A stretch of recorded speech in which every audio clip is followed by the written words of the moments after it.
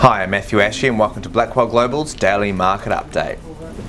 Starting with the euro, and the pair had a sizable boost, largely as a result of the swing in sentiment away from the US dollar.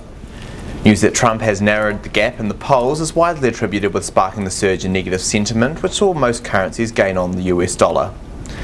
Interestingly, the shift in market mood offset any effects of the stronger than forecasted US PMI results, which were posted during the session. Looking ahead, the Fed's decision on the FFR is now the news to watch.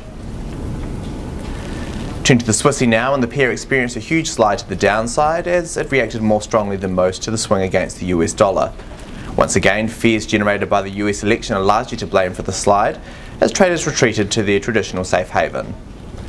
By the end of the session, the pair had fallen back to around the 0.9749 mark, and the 2.3% year-on-year contraction in the Swiss retail sales results were generally ignored.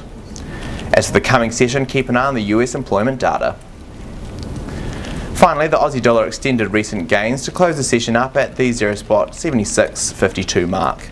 The day's performance came as an understandable result of the RBA's decision to hold the cash rate steady at 1.5%, but the AUD was also buoyed by the market swing away from the greenback.